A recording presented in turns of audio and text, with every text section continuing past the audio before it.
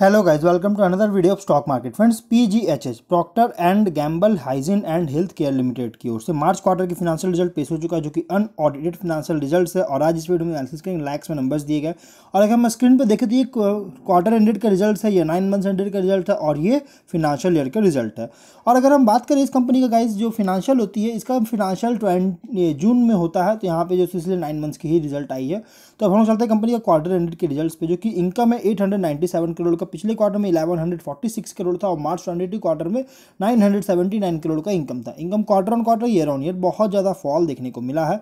Expenses 751 crore का है। पिछले क्वार्टर में 865 करोड़ था और मार्च ट्वेंटी क्वार्टर में 828 करोड़ का एक्सपेंस हुआ था।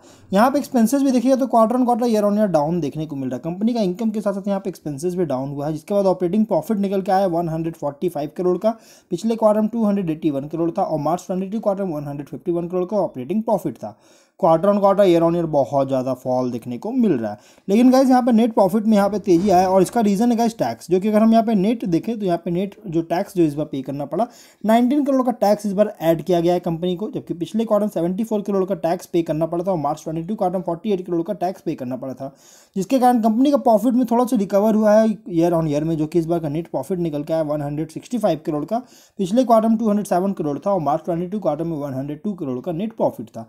क्वार्टर ऑन क्वार्टर में तो अभी भी गिरावट है, लेकिन ईयर ऑन ईयर में बहुत ही शानदार तेज़ी देखने को मिल रहा है। क्योंकि कंपनी का टैक्स इस बार ऐड किया गया है, जबकि मार्च ट्वेंटी क्वार्टर में टैक्स डेबिट किया गया था।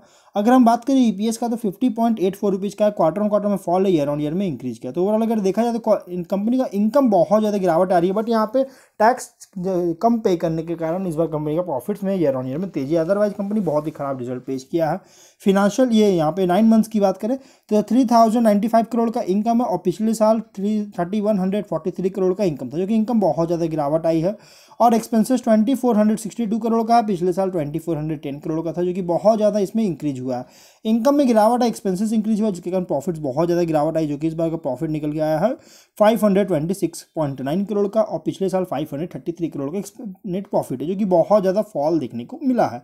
ई पी एस का है, पिछले साल से बहुत ज़्यादा फॉल है। तो यहाँ पे आज कंपनी उतना अच्छा रिज़ल्ट पेश नहीं कर पाई जितना एक्सपेक्ट किया गया तो बहुत ही खराब रिज़ल्ट पेश किया है। तो हम लोग जो है वीडियो को ही प्रिंट करते हैं। अगर कोई डाउट कमेंट बॉक्स में पूछे, मिलते हैं नेक्स्ट स्टूडेंट बाय